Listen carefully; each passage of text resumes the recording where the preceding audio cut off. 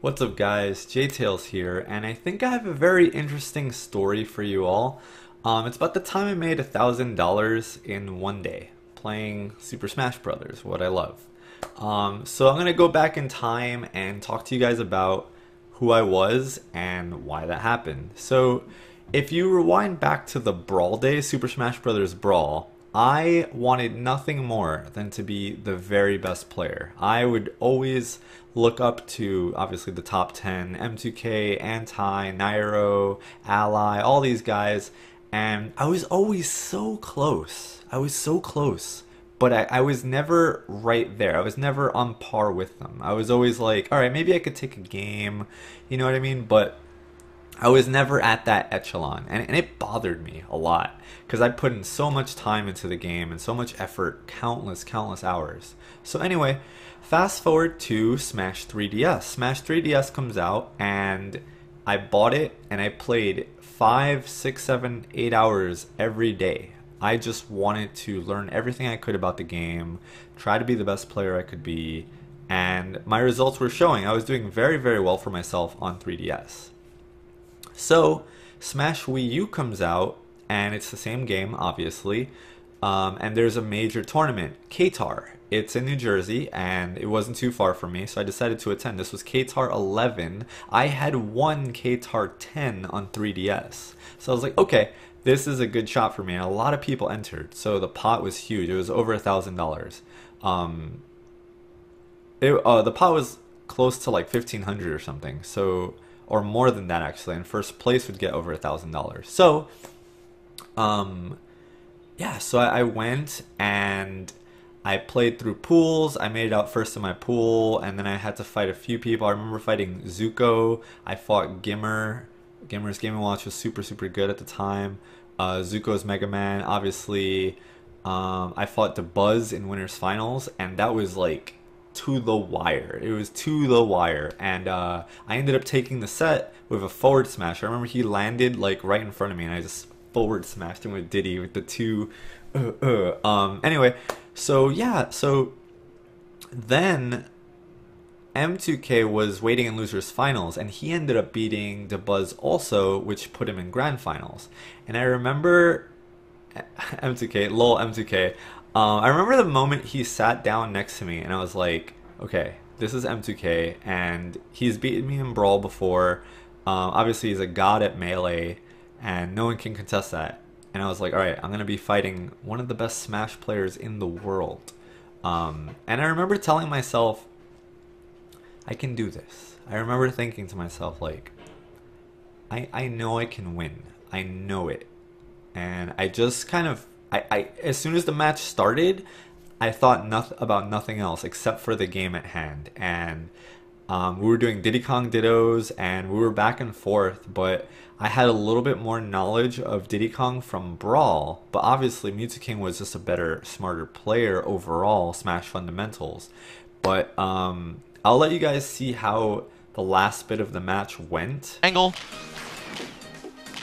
And you can't stay on that edge, man. Regrabbing it will do nothing. Ah! Oh my god. Okay. Gotta chill. Gotta chill. Oh, Mew2King trying to just just steal that one. Just rob J-Tails. I can't blame him. He's done it before. Look at Shiz. Yeah, oh right? Oh my god. Now, whoever said that that's in Florida. All right. I don't know. Is this is this going to happen? Oh, and that's it. That's it. Is it? Yeah. I don't know. That's it. Yep. J-Tails just won over a $1,000. That's it, folks. KTAR 11. J-Tails just won a super stack tournament. I don't know if Nairo or Nakat would have been able to stop him or false. I mean, he went through the tear. He beat Dabuz. He beat Mew2King. He beat. Uh, he he, he beat everybody. He played the best I've ever seen him play. He, yeah, that was that, that, was optimal J-Tails right there. That was TAS J-Tails. TAS J-Tails. TAS J-Tails. And you know what's really scary? What? He has room to improve. Oh, he. You absolutely. can look at his play, and just from watching, there are things that like Mew2King could pick up from him, and J-Tails could pick up from Mew2. Yeah. That's oh yeah. crazy. If they if these guys labbed it for like you know Couple a of week, days, not even at the rate that they improve. yeah, I'd be terrified. And also, Hi, J-Tails- uh, hi Gamer. All right, Just we're saying gonna. I had to play him second round in my pool. I'm just saying, like, unfair. I was received fifth. ADHD was in the pool. I got third. You know, just Shout outs to Diddy's, right? Yeah, so I ended up winning. Um, and I won over a thousand dollars. And afterwards, they interviewed me, and it was like one of the best feelings in the world. Just to like know that all your practice and all your time and effort like is worth something. You know what I mean? Like I beat everybody that day. I beat everybody, and also, it's funny because at the same time, Sky Williams was having an invitational at his house in SoCal, and he invited Nairo, Nakat, Esam, uh, Anti, Zenodo, all these guys. And what's funny is that I had really, really good results, um, better than a lot of the players that were invited. But since they were big names from Brawl, they got invited, and I didn't. But that ended up working out for me because I was able to win an East Coast major. So that was um, really interesting. And yeah, so I guess the, the purpose in me kind of uh, saying this is I think that some people think that not everyone can do this, right? Like, oh, you know, oh, like yeah, you can win your J Tails, and you know, like yeah, Mew2King wins. This is his his life, and yeah, this is what Zero does. But I think that everyone has the potential to do this. I think that it's just a matter of learning what you need to do in order to reach this point.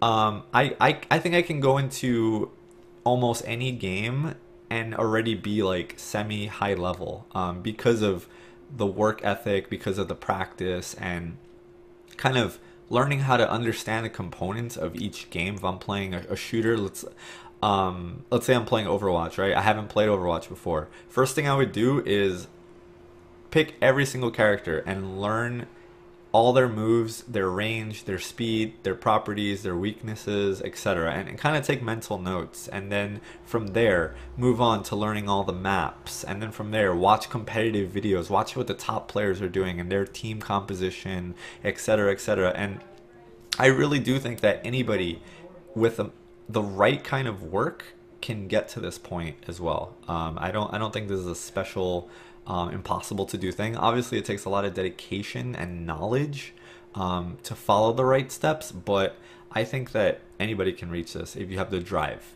and the time, obviously.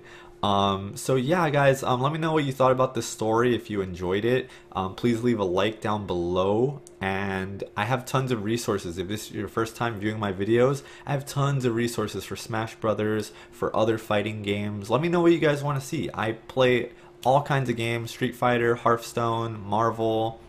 You name it, I probably play it. Pokemon VGC. If you guys want to see tutorials about mindset or how to practice, things like that let me know in the comments what, what you guys think would be helpful, and I'd be happy to make that content for you. Um, also, I do offer private lessons for Smash Brothers, so anybody interested in improving and getting to that caliber, definitely consider some coaching with me. So, yeah, that's pretty much it, guys. Thank you so much for watching, and I'll see you all next time. Later.